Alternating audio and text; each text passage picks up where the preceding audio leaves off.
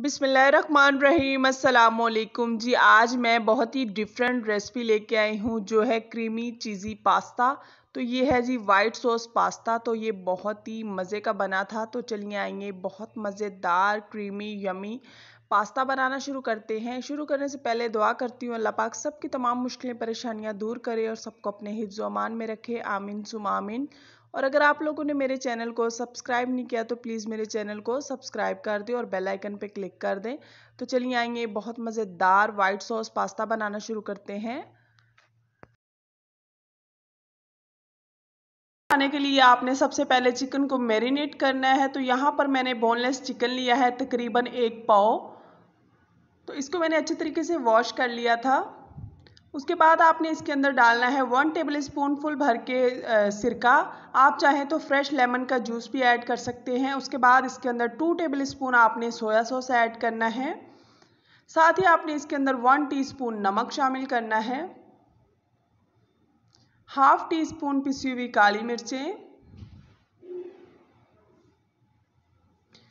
One teaspoon आपने इसके अंदर चिली फ्लेक्स, यानी कि कुटी हुई लाल मिर्चें इस्तेमाल करनी है। कुटी हुई लाल मिर्च का बहुत ही अच्छा टेस्ट आता है पास्ते में तो ये आपने स्किप नहीं करना, लाजमी यूज़ करनी है कुटी हुई लाल मिर्च। तो अब आपने इसको अच्छे तरीके से मिक्स करना है, और उसके बाद आपने इसको तकरीबन एक घंटे के लिए मैरिनेट होने देना है। तो अगर आपके पास कम टाइम है तो आप इसको आधा घंटा भी रख सकते हैं। उसके बाद यहाँ पे मैंने चूल्हे पे एक एक पैन मतलब सॉस पैन में पानी रखा है, उसके अंदर मैंने वन टेबल स्पून फुल भर के नमक शामिल किया है। साथ ही वन टेबल स्पून आपने इसके अंदर कुकिंग ऑयल शामिल कर देना है। कुकिंग ऑयल से ये होता है कि ये जो हमारा पानी एकदम से बॉयल होके बाहर गिरता है, ये नहीं गिरेगा तो ये देख सकते हैं आप। अब यहाँ पे मैंने एक पैकेट पास्ते का लिया है, आप पास्ता किसी भी शेप का और किसी भी तरह का ले सकते हैं। तो पास्ते को आपने कुक करना है, कुक इतना करना है, हम किसी भी छुरी या फिर चम्मच से इसको दबाएँ तो ये टूट जाए तो आपने इसको, इससे ज़्यादा कुक नहीं करना, नहीं तो ये पास्ते का बिल्कुल हलवा सा बन जाएगा तो ये बहुत ज़्यादा आपने इसको कुक नहीं करना। ये देख सकते हैं आपने इतना ही कुक करना है। अब इसका पानी जो है वो ड्रेन आउट कर देना है और आपने इसको एक से दो पानी ठंडे ठंडे पानी से आपने इसको वॉश करना है, दो से तीन पानी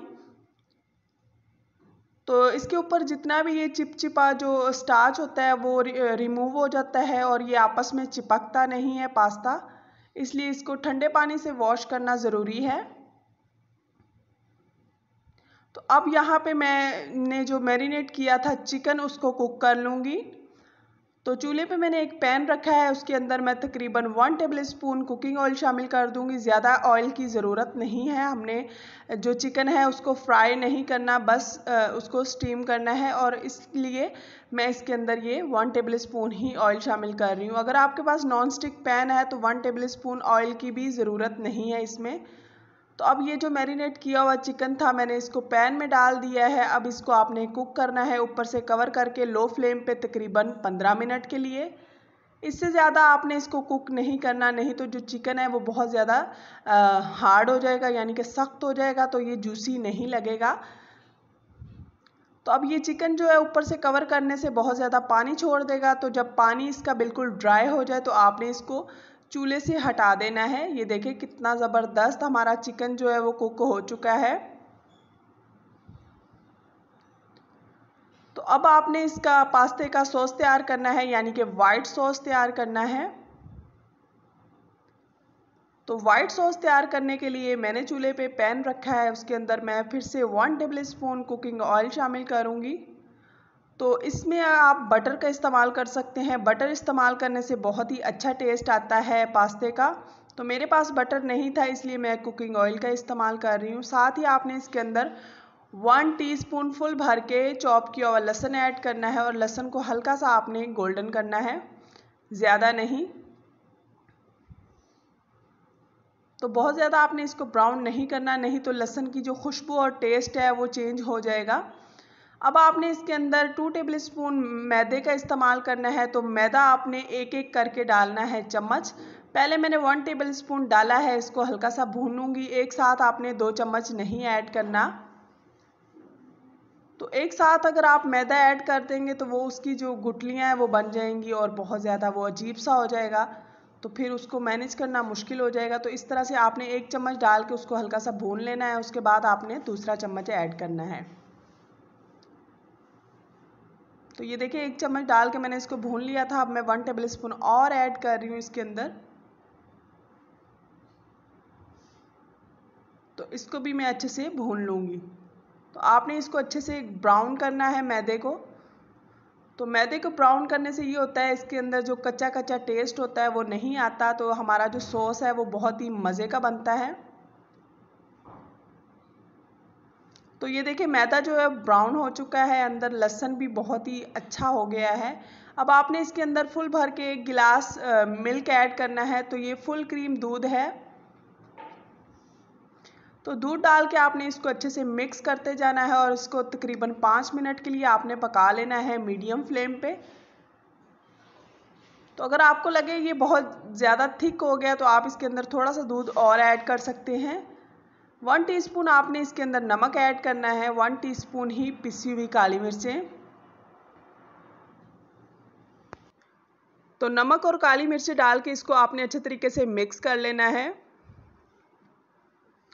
तो ये मिक्स हो चुका है। ये कुक भी हो चुका है अच्छे तरीके से। मैदा जो है उसकी बिल्कुल भी कच्ची कच्ची वो मतलब टेस्ट नहीं आ रहा। मैंने इसको चखा था। अब आपने यहाँ पे 200 हंड्रेड यानी कि 200 ग्राम क्रीम शामिल करनी है। फ्रेश क्रीम आप कोई भी ले सकते हैं मिल्क पैक की या कोई भी ले सकते हैं ऑल पर्स की भी। तो ये इजीली आपको मार्केट से मिल जाएगी। तो क्रीम डाल के इसको आपने अच्छे तरीके से मिक्स करना है। मज़ीद बहुत ज़्यादा आपने इसको कुक नहीं करना।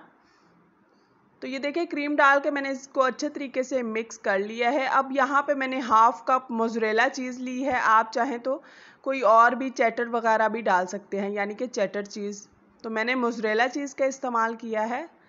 चीज़ जब अच्छे तरीके से मेल्ट हो जाए सॉस में तो आपने इसको पास्ते के ऊपर ऐड कर देना है।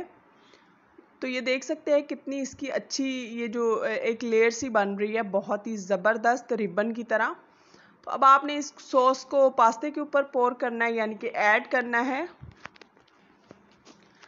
तो अगर आपको लगे ये बहुत ज़्यादा सॉस जो है वो थिक हो चुका है तो आपने इसके अंदर दूध ऐड करना है। तो मैंने इसके अंदर ये पास्ता के ऊपर जब इसको डाला था तो ये मुझे बहुत थिक लग रहा था, इसलिए मैंने इसके अंदर थोड़ा सा दूध और ऐड किया था तो आपको अगर जितना भी इसको रखना है मतलब जूसी जितना भी रखना है तो आप इसके अंदर दूध ऐड कर सकते हैं, नो प्रॉब्लम। लेकिन दूध जो है वो कच्चा ना हो, बॉयल किया हो तो मैंने इसके अंदर दूध ऐड किया था थोड़ा सा तो वो मैं रिकॉर्ड नहीं कर पाई, मुझसे स्किप हो गया वो जो थोड़ा सा था एक पार्ट जहाँ पे मैंने दूध ऐड किया था। अब यहाँ पे मैंने जी जो कुक किया हुआ चिकन था, वो ऐड कर दिया है और इसको अच्छे तरीके से मिक्स कर लेना है आपने।